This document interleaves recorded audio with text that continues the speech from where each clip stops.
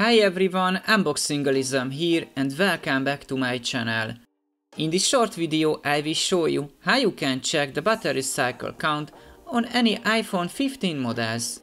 First you need to update to the latest iOS software. Now go to the settings, then battery, then battery health, and you can find it here.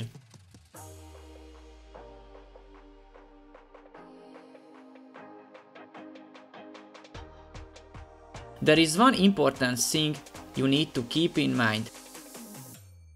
Currently only the iPhone 15 models support this feature, so if you have a previous generation model, as you can see, it doesn't support it. Maybe in the future a software update will unlock this feature for every iPhone, but currently this feature is only available on any iPhone 15 models. That's it, we are done. At the end of my video, let me ask you a small favor. As you can see, most of my viewers are not subscribed. If you find my video helpful, please take a second to give a like and click on the subscribe button to help my videos reach more people. Thank you and see you in the next one.